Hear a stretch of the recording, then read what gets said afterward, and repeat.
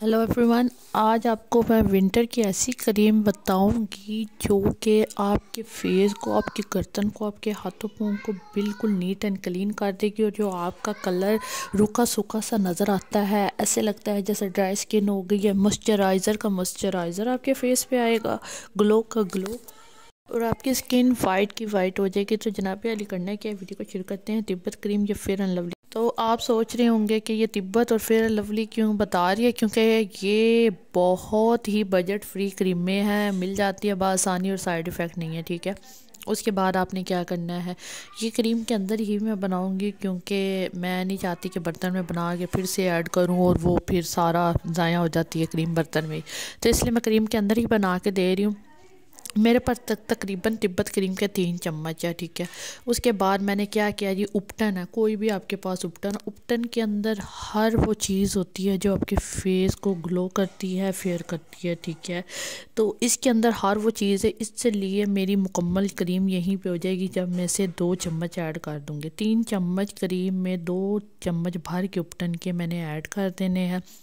अच्छे तरीके से इन दोनों चीज़ों को मैं मिक्स करूँगी और इसके अंदर दो चीज़ें ऐसी मैं ऐड करूँगी जो मेरे फेस को बिल्कुल नीट एंड क्लीन कर देंगी, दाग धब्बे दूर हो जाएँगे। मतलब इस क्रीम के अंदर मैं अपनी पूरी स्किन की केयर करना चाहती हूँ कि मेरे दाग, धब्बे एक्नीज हर चीज़ ऐसे देसी टोटके का टोटका और फेस साफ़ का साफ़, ठीक है? मैं कोई ऐसा साइड इफ़ेक्ट वाला टोटका आपको नुस्खा फार्मूला नहीं बता रही जो आपके फेस को बिल्कुल उजाड़ देगा, ख़राब कर देगा। जैसे कि फार्मूला क्रीम से अक्सर हुआ करता है। तो ये सर्दियों की बेहतरीन नाइट क्रीम है। आपकी स्किन को वाइट करने के लिए गर्दन पे लगाया करें। बिल्कुल जज़ब हो जाती है थोड़ा सा, ऐसे आप मिसाज करेंगे तो ये जज़ब हो जाएगी। टाइम लगेगा। पूरी रात इसे लगा के आप सो जाइए और सुबह उतार लीजिए नीम गर्म पानी के साथ। बहुत ज़बरदस्त ये क्रीम है नाइट क्रीम है। इसके अंदर हम ऐड करेंगे जनाब आली ग्लसरीन ग्लसरीन के बाद एक चम्मच ग्लसरीन ऐड करेंगे समॉल चम्मच।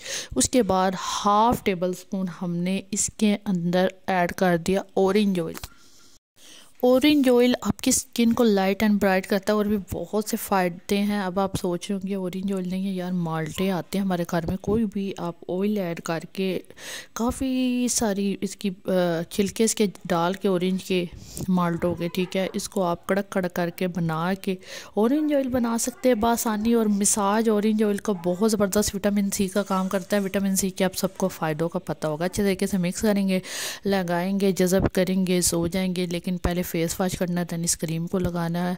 सोने के बाद सुबह उठे, उठने पे उतार लेना, बहुत ज़बरदस्त रिज़ल्ट है। पाँचवें से छठे दिन, बल्कि ये चौथे से पाँचवें दिन आपको रियलाइज़ होता है कि आप बहुत अच्छी क्रीम इस्तेमाल कर रहे हैं। तो अब आपको पता चल गया होगा कितना खर्चा होना ज़ीरो बजट सही है तो ये क्रीम एक दफ़ा बनाएँ, लगाएँ दैन मेरे साथ शेयर कीजिए कमेंट में।